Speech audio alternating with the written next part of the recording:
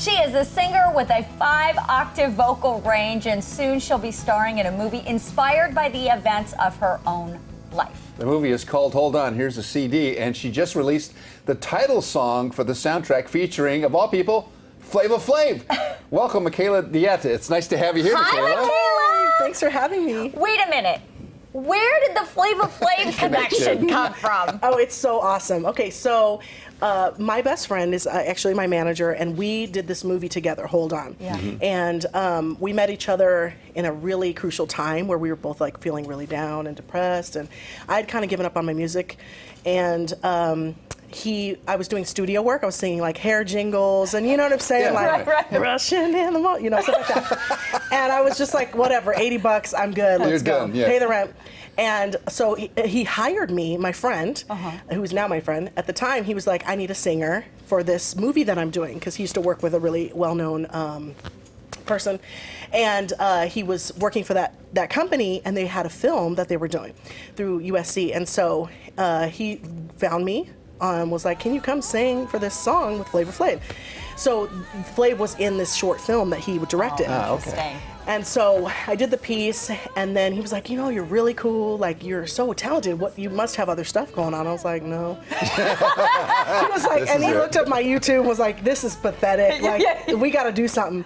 And so he, um, what happened was we uh, recorded a song on his laptop and did the music video for three hundred dollars. Yeah, No my first kidding. song called Over.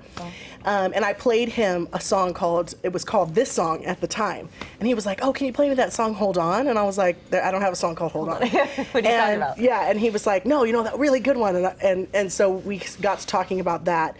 Um, and come, come to find out, we made a movie. Isn't that amazing? We put the song in it, we put all my other songs in it. And um, one of my best friend and manager's uh, really good friends is Flavor Flav. So we said, Would you be in it? He said, Yeah. He's in it. So let's, so let's talk about Hold On Yeah, because yeah. This, this has a very special message that's near and dear to your heart. Tell me about the message of this movie.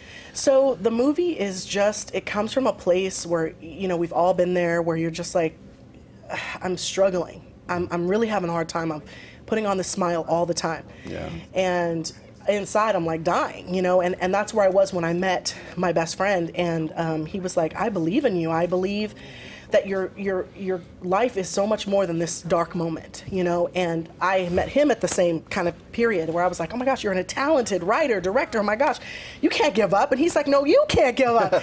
and the movie is all about the power of that friendship and how when you have someone who can just say, hey, simple, don't don't give up. Can you just hang in there one more day?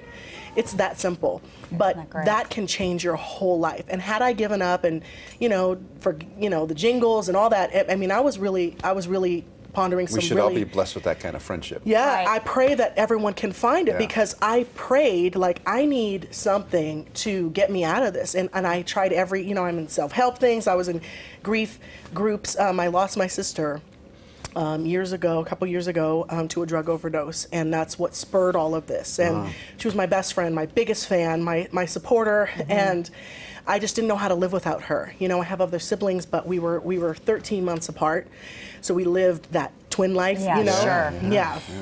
Wow. So when I met him, you know, he was like, "Oh, uh-uh, you're, not, giving up." That's so That's what the movie's all about. So important. amazing. Um, I also want to talk about your voice because it's fabulous, girl. Yeah, it's amazing. Um, but when did you learn that you had that gift? Because honestly, a, a vocal range like that is, as you know, a gift. It is. Not everybody can sing like that. Right. When did you learn that about yourself? You know, I sang all through my childhood, and my mom was telling me, you know, she would play music and I would be bopping around singing as a baby, you know. But when I really started singing, um, I was in a gospel choir in my church in Phoenix, um, where I grew up.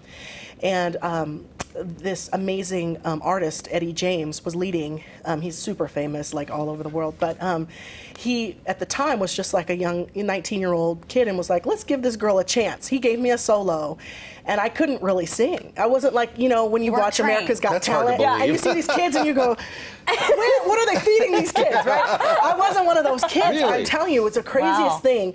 I could kind of sing, but I wanted, like, it was in my heart, you know? Yeah. And I would be, the- I was the youngest kid in my sister and I and my mom in this gospel choir. Everybody's huge and just voices like you can just feel it, right? Yeah. And I remember just sitting there looking up at them and trying to like belt it out, and I just couldn't. And I was singing, you know, my little solo, and my voice was not developed, you know. And I walked away from this rehearsal. I remember distinctly. I walked away and I was like, I just want to sing. I just want to have a powerful voice that will move people. And I was thinking that and saying it, and I was practicing the warm up that we had just done Yeah. in the choir. And I was walking to the car and I started singing, Blessed be the name. And I was like singing a little quiet. And I was like, Come on, God, like, let me just, you know. I prayed and I kid you not. It happened. This voice came out that was like, I will blow this microphone. I- it was a miracle. My mom was like, What? What just happened? God Like, answered how your old were prayer. you? I was about eight, nine Yeah. years old. It's Yeah. incredible. And it- Okay. yeah.